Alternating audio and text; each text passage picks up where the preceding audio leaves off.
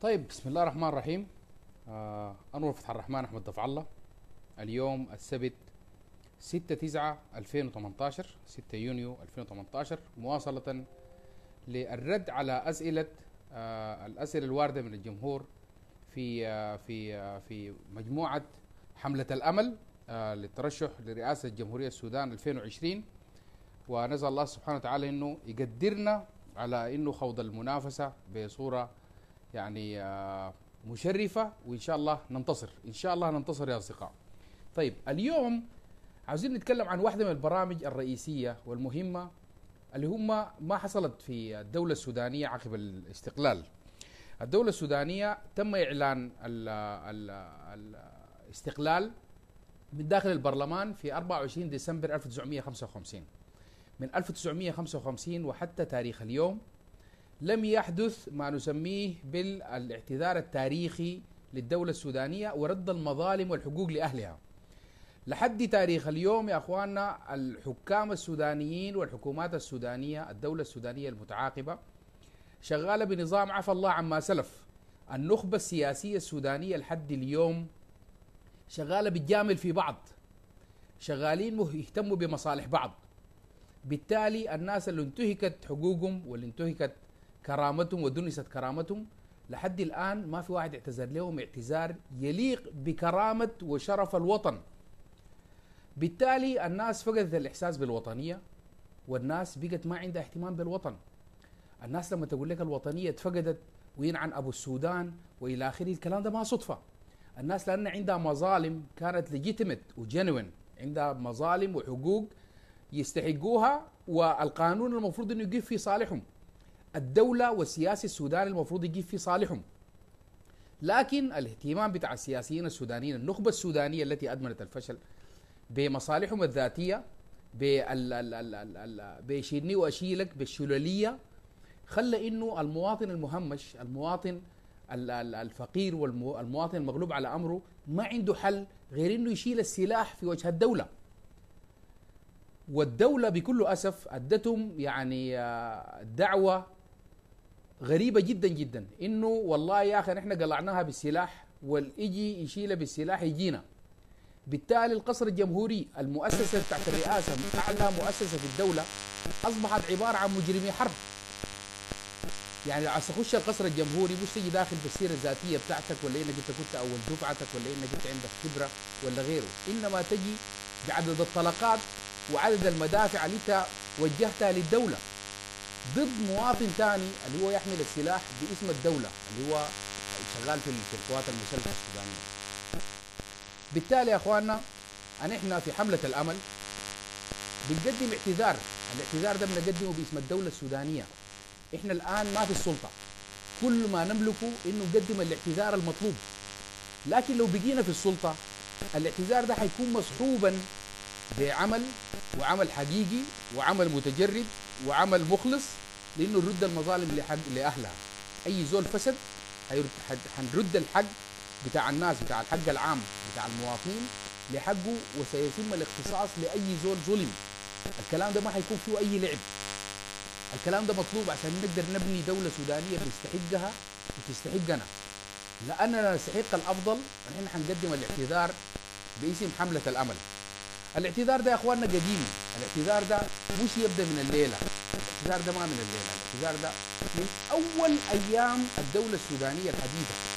يعني نحن من ما طلع المستعمر حصلت حادثة غريبة جدا جدا في عمر الوطن. دي أعتقد إنها كانت خنجر في خاصرة الوطن. الحادثة دي كانت لمزارعين بسطاء جدا جدا. المزارعين ديل كان في مكان اسمه جودة. والحادثة معروفة في التاريخ باسم عنبر جودة. الحادثة دي يا أخواننا أنا أدعو جميع الناس المناصرين لحملة الأمل، الناس الداعمين لترشحين رئاسه الجمهورية يمشوا ويقروا عنها لأنها محزنة جدا جدا، الناجين فيها كانوا يتعدوا بالأصابع يعني. الناجين فيها معظم الناس اللي ماتوا فيها ماتوا بالاختناق. تم يعني قفلهم في كونتينرات لدرجة إنهم ما قدروا يتنفسوا.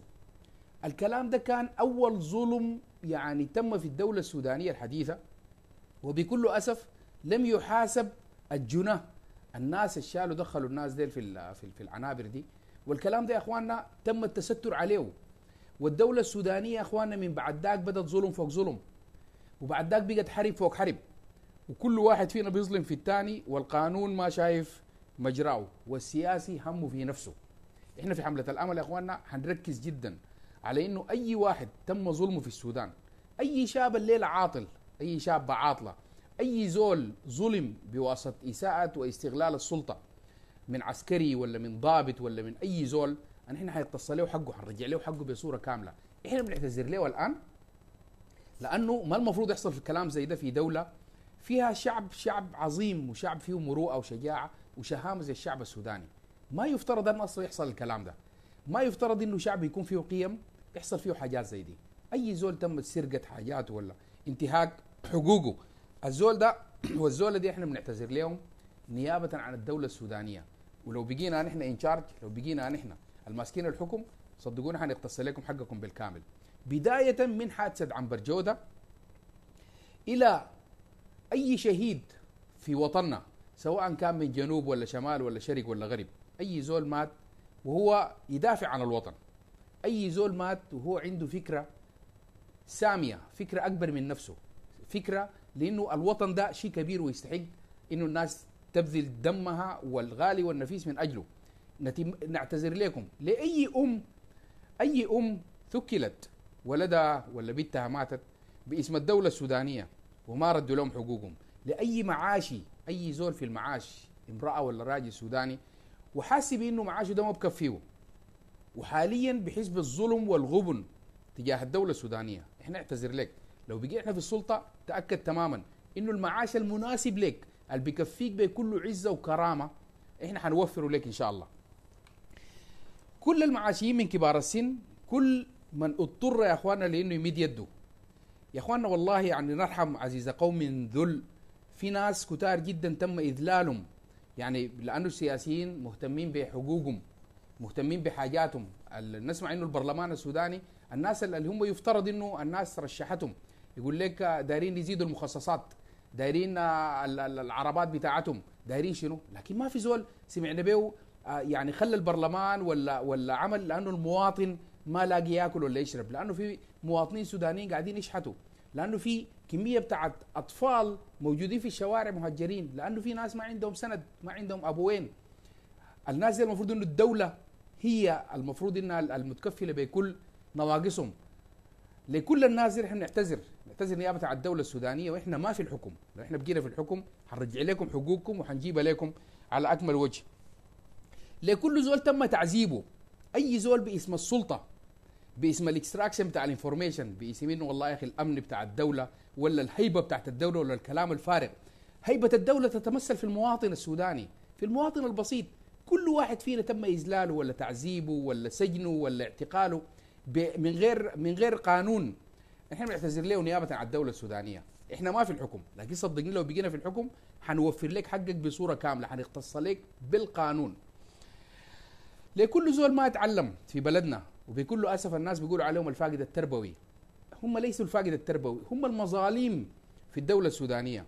أي زول ما يتعلم يا إخواننا أي زول ما يتعلم لأنه الظروف اضطرته إنه يمشي يشتغل عشان يكفل أسرته إحنا بنعتذر لك. لأنه كان من حقك تكون الآن أي حاجة عاوزها لو تكون دكتور ولا تكون مهندس ولا تكون كابتن طيار ولا تكون الحاجة العاوزه إحنا بنعتذر لك نيابة عن الدولة السودانية لانها فرطت في حقك. لكن لو بقينا إحنا في الحكم صدقني حنقتص لك حقك. حنعوضك التعويض المناسب.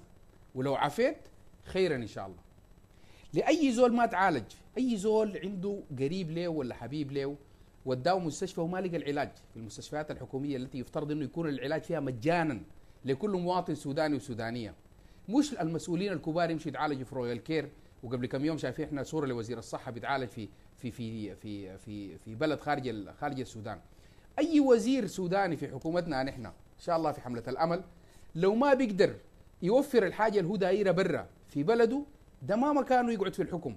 ده مكانه يمشي للمكان اللي بينفع معاه لكن أكيد ما المفروض يكون مسؤول من أرواح الناس ومن مسؤولية معاش الناس. إحنا اخوانا بنقدم الاعتذار ده بكل صدق في حملة الأمل. ونسأل الله العلي القدير إنه يقدرنا نصل للسلطة عشان يتبع الاعتذار ده اعتذار رسمي من الدولة ويتبعوا رد الحقوق والمظالم لأهلها.